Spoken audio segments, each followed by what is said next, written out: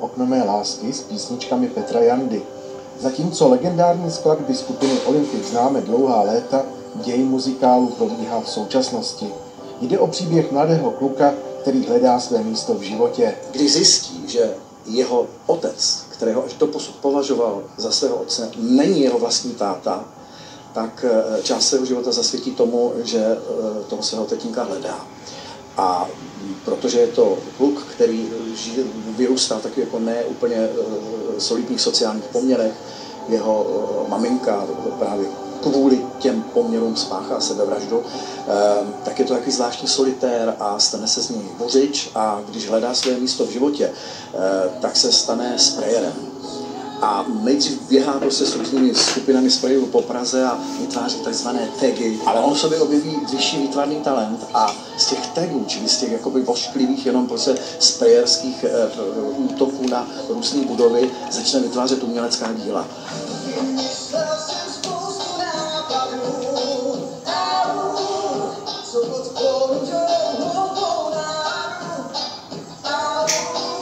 Se vlastně scénárista rozhodl posunout děj do současnosti a nezůstal v době vzniku známých písniček Olympiku? Má to dva, v zásadě dva důvody. Eh, ten jeden z nich je ten, že před, a teď už to nedokážu ani odhadnout, protože už je to opravdu hodně let, abych odhadoval 25 nejméně, on už to jednou muzikál eh, vlastně z písniček eh, Olympiku byl. Jmenoval se Jak se lítá vzhůru. A myslím, že se nejdřív hrál v divadle Spirála, pak se, pak se hrál v divadle Ta Fantastika. A ten byl o historii právě vyslovně skupiny Olympika, o tom, jak se dávali dohromady a jejich první úspěchy a potom jejich kariéra.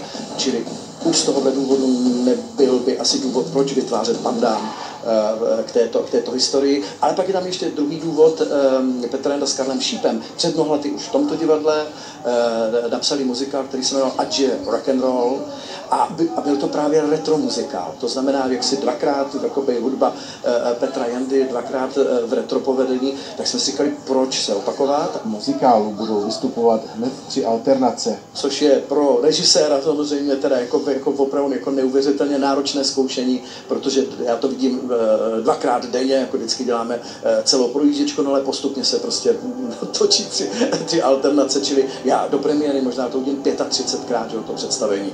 Diváci se tak mohou těšit například na Pepu Vojtka, Jana Toužimského, Bohouše Josefa, Veroniku Žilkovou, Sandru Pogodovou, Božka Slezáčka a další herce a zpěváky. Plus teda musím říct, že tentokrát máme skutečně vynikající taneční kampaň, vynikající na uh, výtečné úrovni. Už uh, dlouho, několik svých muzikálů, které jsem za poslední dobu udělal, tak jsem neměl tak dobrou taneční kampaň, tak z toho mám taky obrovskou radost. Premiéra proběhne v divadle Broadway 3. listopadu tohoto roku.